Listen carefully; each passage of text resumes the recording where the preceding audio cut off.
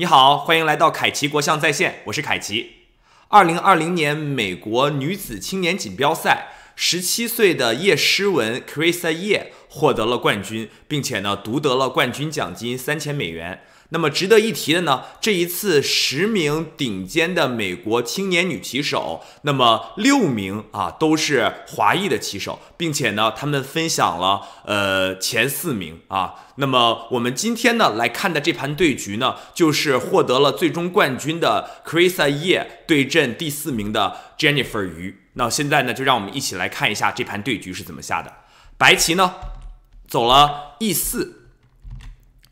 黑棋。E 五，白棋马 F 三，黑棋马 C 六，白棋象 B 五，西班牙开局，黑棋 A 六，白棋象 A 四，黑棋马 F 六，白棋短一位，黑棋 B 五，白棋象 B 三，黑棋象 B 七。那么 Jennifer 鱼呢是选择了一个呃比较复杂的西班牙的变化。那么白棋呢走了车到 E 一，黑棋象到 C 五，白棋兵到 C 三，黑棋 D 六，白棋 A 四。破坏黑棋的后翼兵形，黑棋短一位，白棋 D 四，黑棋象 B 六，白棋象 G 五啊。那么我们会看到黑棋的象呢，已经走到了这个呃 A 七到 G 一的斜线，没有放到常规的 E 七的位置。所以呢，白棋在这个局面当中，象到 G 五斜线牵制对方。那么黑棋 H 六，白棋象 H 四退象。那么在这个局面当中啊，Jennifer 鱼呢走了 G 五啊，可以说这步招法呢是。嗯，比较冒险的一步招法，因为在 G 五走完之后，势必啊，那么黑棋的王前呢就会有一定程度上的削弱啊。在这个局面当中呢，比如说一九九九年的时候，伊万丘克在跟这个呃特卡切夫的一盘对局当中呢，黑棋呢走的是先 E D 吃掉，然后对方 C D 之后再走 G 五啊。那么这样的话呢，这个次序对于黑棋来说是更好的一个次序，因为最重要的是白棋在这个局面当中就没办法弃子了，比如说。说你要是再走马 G 五。Hg 象 G 五之后，那么由于 E 兵和 C 三兵已经交换过了，那么黑棋呢就可以直接马第四，然后准备马 E 六，让自己的马呢撤回来，然后消灭第四兵之后，拔掉了白棋的中心，并且呢可以更好的去守住自己的王啊。那么我们回到这盘棋，在象 H 四之后呢，黑棋没有直接 E D，而是马上就走了 G 五，但是这样的话呢，就会给白棋一个非常好的一个呃进攻的机会。那么你可以暂停一下视频，试着想一想，如果你是这个白棋的话啊，你是叶诗文，在这个局面当中，你要走什么呢？好，对局当中，白棋呢走了马 G 五啊，那么在。这个局面当中，马 G 五啊，可以说是一个非常聪明的一个决定啊。那么，并且呢，这次比赛的这个用时啊，是每方二十分二十五分钟加五秒，那么是一个快棋的比赛。所以叶诗文在赛后的时候也说，那么在这个局面当中啊，由于是一个快棋啊，那么他的这种弃子可以给对方更大的压力。那么，因为如果要是一盘慢棋的话，那这个直接弃子的话，那么会有一定的风险，因为对方有很充足的时间。可以去考虑，呃，究竟要怎么应对？但是在快棋当中呢，呃，这样的弃子给对方一些压力，那么这个他觉得啊，对方很有可能就会这个呃找不到最好的防守下法啊。那所以呢，在这个局面当中，他也没有特别多的计算，而是直接就走了马 G 五弃子了啊。那么这是从比赛的形式上来说。那另一方面呢，这部客观来说，这个马 G 五也是非常值的啊，因为在马 G 五之后后，Hg 象 G 五之后，那么白棋呢用三分的马换掉。了对方的两支兵，那么首先呢，子力亏损是亏损了一分，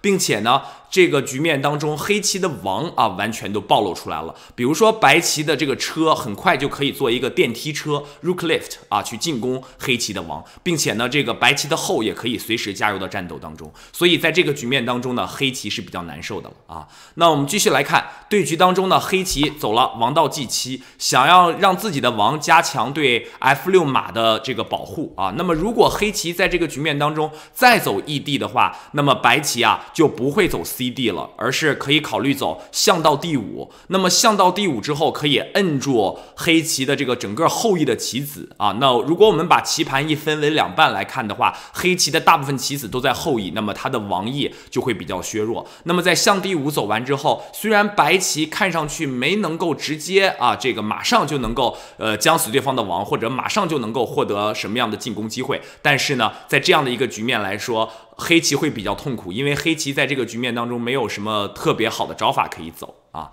那所以我们继续来看对局，象 G 五走完之后呢，黑棋走了王到 G 七，白棋呢？车 e 三好棋啊，通过这个第三横线，准备把自己的车调动到 G 三或者是 F 三去进攻对方的王。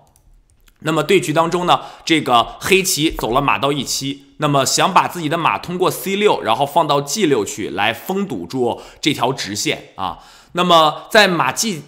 马 e 七之后，白棋呢走了车到 G 三啊，那么这步招法呀，稍稍有一些着急啊。最好的招法在这个局面当中，应该是走马到 D 二，先出动自己后翼的棋子，保护住 E 四，然后再准备把自己的车放到这个对方的王前啊。但是呢，车 G 三这步棋啊，也呃也可以被接受，因为直接就可以威胁对方的王啊。那么尤其在是一个快棋当中，这种招法走出这种招法无可厚非啊。但是嗯马。马第二，客观来说是最好的招法，但是从这个比赛竞技的角度来说啊，这步棋马到第二，应该说临场的时候很难。呃，棋手们很难去选择这一类的招法，因为白棋已经弃子了，所以白棋子力是亏损的。一般来说，这个我们在下棋在比赛当中，这个子力亏损的时候，往往都会相对比较紧张，都想要去这个把这个棋子赢回来，或者是给对方一些看得见的实质性的压力啊。所以呢，往往在这个局面当中，可能很多棋手都会选择这种马上就去对对方的王进行威胁的招法。但是实际上呢，这种安静的招法，马第二。啊，却是最好的，因为呢，先把自己的后翼子力啊出动，然后保护住自己的 E 四，下一步棋再去进攻。而且呢，在马第二之后，实际上黑棋在这个局面当中没有任何的这个招法的进展啊。比如说，如果他现在在这个局面当中走了马到 G 八，想要去防守自己的这个 F 六，让自己的两个马连起来，那然后我们就可以车 G 三，对方马 G 六就走不了了。下一步棋的话，我们在这个局面当中随时都可以向 H 四退。退象，然后进攻对方的王啊，那么就会给这个。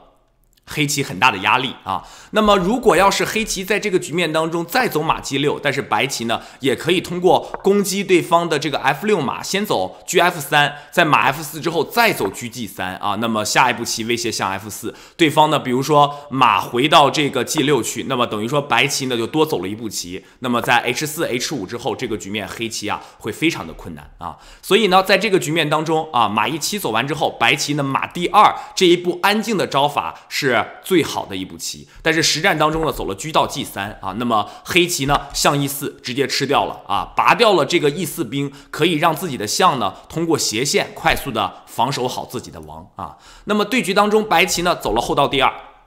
想要象 H 六啊，那么将军或者是象 F 六打掉之后，再走后 G 五，把自己的后呢调到对方王前去啊。那么在这个局面当中啊。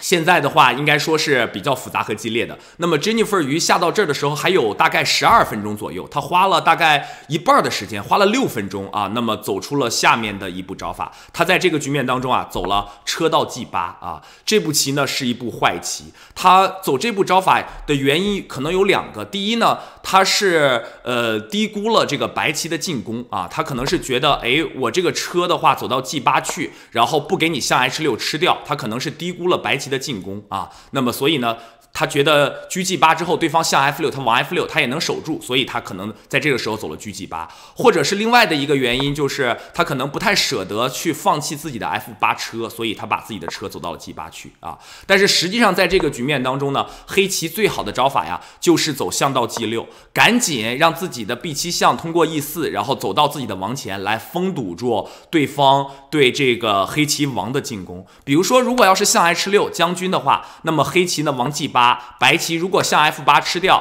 黑棋在这个局面当中后 F 八吃掉，那么虽然白棋多吃了半子啊，白棋这个吃了半子回来，但是从棋盘的整体来说，它还是少半子的啊，并且呢，这个黑棋的王啊，可以呃稍微比刚才要安全的多了啊，所以在这个局面当中，黑棋应该弃掉这个车，然后来让自己的王更加的安全啊。那在这个局面当中啊。黑棋没有走这个象到 G 六，而是走了这个车到 G 八啊。那么对局当中，象吃 F 六，好棋。那么王吃 F 六，后到 H 六将军。那么黑棋呢走到象到 G 六，看上去在这个局面当中呢，黑棋守住了这一波的攻势啊。因为白棋在这个局面当中后和车啊，这个进攻对方的王，但是只有两个棋子啊，黑棋看上去暂时还没什么问题。但是呢，接下来啊，这个。白棋啊，走了马到第二，好棋，把自己的这个。后羿的马，然后调整到这个中心上去。那么下一步棋呢？马 e 四啊，就是有一个这个绝杀的威胁啊。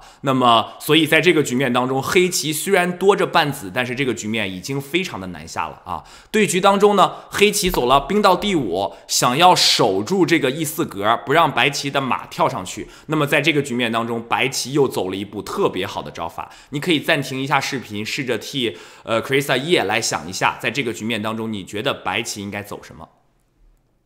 好，你想好了吗？在对局当中，白棋走了车到 e 一，好棋啊！那这就是我们常说的滚雪球式的进攻。当你进攻的时候啊，那么你想把这个攻势变得越来越厉害，就要不断的增加新的棋子啊，给自己的这个整体的进攻增加新的进攻的血液啊。那么就像你在滚雪球一样，你想搓一个非常大的雪球，你要不断的加新的雪在这个雪球上面，这个雪球才会越来越大。所以在这个局面当中，车 e 一是特别好的。招法啊，那么在这个局面当中，D E 虽然可能是一步先手棋，虽然是一步将军，但是在王 E 五走完之后，你再走车 E 一，对方王 D 六，黑棋的王啊就可以成功的逃跑了。你再将后 F 四，那么王 D 七之后，这个黑棋的王呢就逃窜到了后翼，就会比较安全。那么白棋的进攻呢就会进入到死胡同当中啊，没办法更进一步了。所以呢，在这个局面当中。白棋走了车 e 一，好棋。那么让自己的车发挥作用，并且呢断住对方的王，不让对方的王逃跑。那么，比如说，如果要是黑棋在这个局面当中，要是赶走这个 e d 啊，那么白棋马上就会有这个 g f 三将军的威胁，因为黑棋的王就不能够逃跑了。那么在马 f 五之后呢，我们简单走 g 四，下一步 g f 五啊，这个也是非常厉害的。无论是 g f 五还是 g 五，都是绝杀了啊。那么我们的这个 e 一车断住了对方的王，非常的厉害。那么在这个局面当中，g 一之后，如果黑棋要是走 e 四，也是不行的，因为白棋。可以马吃 e 四啊，那么如果要是 d e 的话，白棋在这个局面当中又可以后 f 四将军，王 g 七在。后 F 棋啊，那么王 H 六之后，白棋再走后 F 六，下一步棋 G H 三绝杀，黑棋也是守不住的了啊。所以车 E 一啊，奠定了白棋的这个非常好的这个进攻的这个赢棋的机会。那么对局当中呢，黑棋的王走到了 E 六，赶紧趁着 E 线还在封闭的状态，把自己的王逃到后翼去。但是车吃 E 五，王到第七啊，那么白棋车到 E 三，继续进攻对方的 E 七马。那么对局当中，车 e 八，白棋象吃 d 五，黑棋 c 六，白棋象 f 三。那么在这个局面当中，黑棋的王呢，暂时不用担心被将死了，但是这个局面会非常的难受啊！黑棋现在多了一个青子，但是呢，却少了三支兵，并且呢，他的王啊。呃，和自己的子力位置啊都不特都不是很协调，并且呢，在这个局面当中，由于黑棋的这个压力比较大，所以在这个快棋的二十五分钟加五秒的比赛当中，用时也比较多啊。那么下到这个局面的时候，黑棋就只剩下二十多秒了，而白棋呢还有四分多钟，所以这个时间的优势也是非常这个重要的。那么对局当中呢，黑棋在这个面对非常大的时间压力下，又走出了一步。呃，败招啊！那么在这个局面当中，黑棋应该走的招法是王 c 七，还是让自己的王呢继续的这个逃窜到自己的后翼去啊？那么可以这个呃让自己的王更安全一点。但是对局当中走了马到 f 五啊，那么白棋车吃 f 五好棋啊，那么这步招法的话，直接就把自己弃掉的这个棋子吃回来了。对局当中车 e 三 f e 象吃 f 五，那么后到 c 六。那么将军，对方只能王 e 七，再后到 a 八啊。那终于白棋呢吃回了自己的弃子，并且在棋盘上多了四个兵啊。这个局面赢棋已经并没有难度了。对局当中，b a 马到 c 四，